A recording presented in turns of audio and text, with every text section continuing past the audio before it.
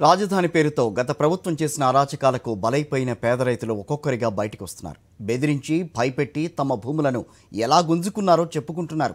తమ పొలానికి సంబంధించిన డాక్యుమెంట్స్ అన్నీ తీసేసుకుని తమ చేతే బలవంతంగా ల్యాండ్ పూలింగ్కు ఇప్పించుకున్నారని అంటున్న బాధితులు గుంటూరు జిల్లా మంగళగిరి మండలం కిష్టాయపాలెం చెందిన రైతు ప్రకాశంతో మా correspondent Ashok face to face. దాన్ని అసైన్డ్ భూముల కుంభకోణంలో బాధితులు ఒక్కొక్కరుగా బయటికి వస్తూ ఉన్నారు. ఇప్పటికే రాజధాని అసైన్డ్ భూముల కుంభకోణంలో చంద్రబాబుకు నోటీసులు ఇవ్వడం జరిగింది. అయితే నోటీసులు ఇచ్చిన తర్వాత భారీ స్థాయిలో రైతులంతా చర్చ జరుగుతోంది.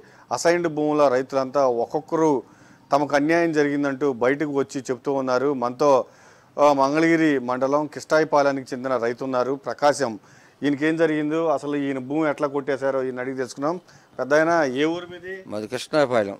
పేరు మీ పేరు? ప్రకాశ్రావు. ఏంటి ఏం జరిగింది అసలు? రాజధాని పరంలో రాజధాని వచ్చినాక ఎసంటి భూములు ఊరనే తీసేసుకుంటామని నాయకులు నలుగురు ఐదుగురు ఓడల్లో తిరిగి మాకు ఎంత కొంత మేము ఇస్తాం ఇవ్వమని తీసుకొని ఎక- పదిహేను లక్షలు ఇచ్చి తర్వాత మీకు ప్లాట్లు వస్తాయి ప్లాట్లు వచ్చినాక మీకు ఇంక ఇస్తామని చెప్పారు. ఇంత మటుకు మాకు జవాబు లేదు. ఏమైపోయింది కూడా తెలియక మేము గవర్నమెంట్కి తెలియపరుస్తున్నాం. అది. ఇంటికి వచ్చి ఏం చెప్పారు? గవర్నమెంట్ తీసేసుకుంటాం. గవర్నమెంట్ పొలమే కదా పండించుకున్న వాళ్ళు పండించుకున్నారు ఇక ఇప్పుడు గవర్నమెంట్కి అవసరం కాబట్టి తీసేసుకుంటాం అన్నారు. దాని ఇక మేము ఎంత కొంత తెస్తామన్నాక పదిహేను లక్షలకి ఇచ్చేసాము రా తర్వాత ప్లాట్లు మీకు వస్తాయి అన్నారు. ప్లాట్లు మాకు రాలేదు. జవాబు లేదు ఇంత మటుకి. ఎవరెవరు వచ్చారు మీ ఊరికి అప్పట్లో? అప్పుడు నారాయణ పతిపటి పుల్లారావు గల్లా గల్లా జగి జగి. వాళ్ళు వచ్చారు ఊళ్ళో. ఊళ్ళో వచ్చి ఇది పుకారు లేపారు. అది జరిగిన విషయం. స్పెషల్గా ఎవరైనా కొంతమంది వచ్చి మీ భూములు పోతాయి అని చెప్పారా? లేకపోతే ఈ వచ్చిన వాళ్ళే చెప్పారా? వచ్చిన వాళ్ళే చెప్పారు. స్పెషల్గా ముందు వచ్చిన వాళ్ళు ఊళ్ళోకి వచ్చి ఇట్లా పోతాయి అని మీటింగులు చెప్పారు. చెప్పేదానికి భయపడి మేము ఊరనే పోతాయి అని పదిహేను లక్షలకి అమ్ముకొని అమ్ముకున్నాక వాళ్ళు ప్లాట్లు మీకే వస్తాయి. మీరు మళ్ళీ మాకు రిజిస్టర్ చేయాలన్నారు. చేయాలన్నాక మేము మాకు ఇంత మటుకు ప్లాట్లు అంతులు. అది జరిగిన విషయం. ఎంత సాగు చేస్తున్నావు పెద్ద ఎకరం ఇరవై నాలుగు సెంటు. అది. సాగు చేస్తున్నావు? ముప్పై సంవత్సరాల నుంచి. సాగు చేస్తున్నాం. ఎందుకని మరి మామూలుగా భూమిని కన్నతల్లిలా చూస్తూ ఉంటావు కదా? ఎప్పటి నుంచో సాగు చేసుకుంటావు వాళ్ళు గవర్నమెంట్ వారు పారంబోకులే కదా? మేము తీసేసుకుంటాం అన్నాక మేము భయపడి ఊరిని తీసేసుకుంటారని నలుగురు ఐదుగురు నాయకులు గల్లాజయ్ గారు పతిపటి పుల్లారావు గారు నారాయణ గారు వీళ్ళందరూ ఊళ్ళోకి వచ్చి ప్రకటించాలి భయపడి మేము అమ్మేసుకున్నాం. ప్లాట్లు మీకు వస్తాయిలాయా అప్పుడు మళ్ళీ డబ్బులు ఇస్తాం మాకు రిజిస్టర్ చేద్దరు అన్నారు. ఇంత మటుకు ఆ ప్లాట్లు మాకు జవాబు లేదని మేము గవర్నమెంట్ వారికి తెలియపరుస్తున్నాం. ఏంటి మీరు అమ్మారు కదా అగ్రిమెంట్ ఏమైనా చేసుకున్నారా? రాయించుకున్నారు రాయించుకున్నారు డమ్మీ రిజిస్టర్ అని దాంట్లో చేయించుకున్నారు.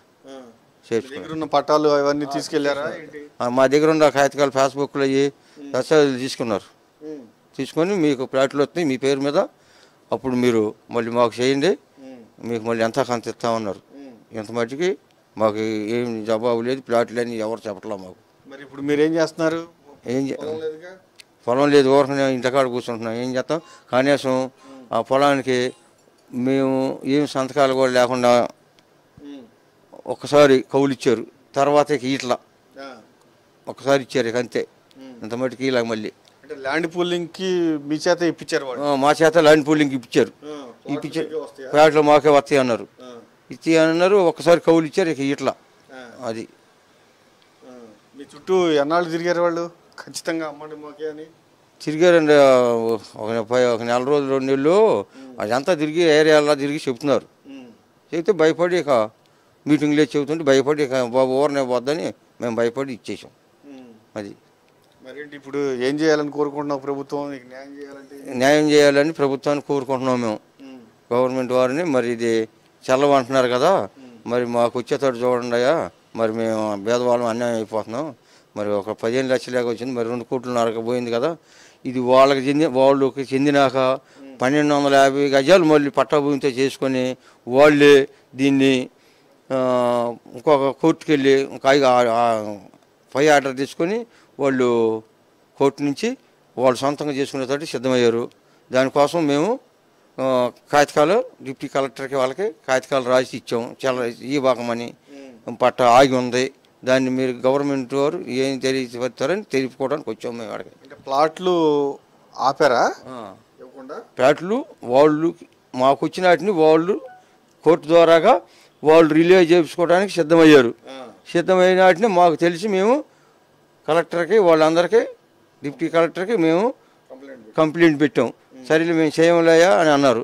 ఇది మళ్ళీ ఇప్పుడు ఆ, టాప్ మనీ గవర్నమెంట్ వారు తెలియపరిచారని మరి ఏం చేస్తున్నారని మేము గవర్నమెంట్ మాది ఇట్లా నష్టపోయామని చెప్పుకోవడానికి వచ్చాం. మీలాంటి వాళ్ళ దగ్గర అసైన్డ్ భూములు ఐదు లక్షలకి పది లక్షలకి కొన్నారు కదా.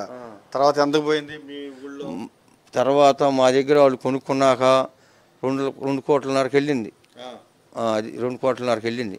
ఆ, మాకు వెళ్ళినా కూడా మాకు మాకు ఏమి ఇలా. వాళ్ళకి వెళ్ళింది కానీ ఎవరు అమ్మలాళ్ళు ఇంకా. ఆ, అంత మటుకు అట్ట ఆగి ఉంది. ఎందుకంటే మాది మేము మేము చేయాలి కదా. మేము చేయకుండా వాళ్ళకి చాలా అది వాళ్ళు చేయలేదు వాళ్ళు తెచ్చుకున్న ఆర్డర్. అట్ట ఆగి ఉంది కాబట్టి మా పేరు మీద ఆగి ఉన్నాయి కాబట్టి మాకు చేయాలి. అవి మొత్తానికి ప్లాంట్గా మీ చేత ఇప్పించారు ల్యాండ్ పూల్ అలాంటి పని మా చేత ఇప్పించారు. ప్లాట్ మోడ్కి మీకు ఇవ్వాల? వాటిలో మాకు వాళ్ళు రిజిస్ట్రేషన్ ఆ, చేసుకున్నారు ప్లాట్లు మీకు వస్తాయి అన్నారు. ఆ ప్లాట్లు మాకు అంత లేకుండా చేశారు. ఉమ్, వచ్చినాయి అని తెలియకపోతే వాళ్ళు మళ్ళీ కోర్టు ద్వారాగా వాళ్ళు చేసేటట్టుగా తెచ్చుకున్నారు. తెచ్చుకొని మాకు ఏం చెందకుండా చేయాలని చూస్తున్నారు. పూర్తి మిమ్మల్ని మోసం చేశారని మీరు అనుకుంటున్నారా? మోసం చేశారుగా మరి? ఏముంది మరి రెండు కోట్లున్నారంటే పదిహేను లక్షలకి ఏం వస్తుంది? ఏమొచ్చింది మరి ఇది అన్యాయమే కదండి. మమ్మల్ని భేదవాళ్ళని చేయటం. మరి ఏం చేస్తారని తెలియపరుచుకుంటున్నాం కోర్టు వారికి. అది. ఏం చెప్తారు? మీకు మాకు మా మాకు భూములు రోడ్ల కింద పోతేనేమో చేసేది ఏం లేదు. భూమిగా ఉంటే పండించుకుంటాం లేకపోతే ప్లాట్లు వస్తే మా ప్లాట్లు మాకు ఇవ్వమని కోరుకుంటున్నాం. అది. ఖచ్చితంగా బాధితులైతే ఇప్పుడే ఒక్కొక్కళ్ళు బయటకు వస్తున్నారు. ఖచ్చితంగా ప్రకాశ్రావు చెప్తున్నారు తన భూమిని దౌర్జన్యం చేసి బెదిరించి బలవంతంగా లాక్కున్నారు. ఖచ్చితంగా ఇది రాజధానికి అంటే ప్రభుత్వం ఇచ్చిన భూమి కాబట్టి మళ్ళీ రాజధాని నిర్మాణానికి తీసేసుకుంటారు.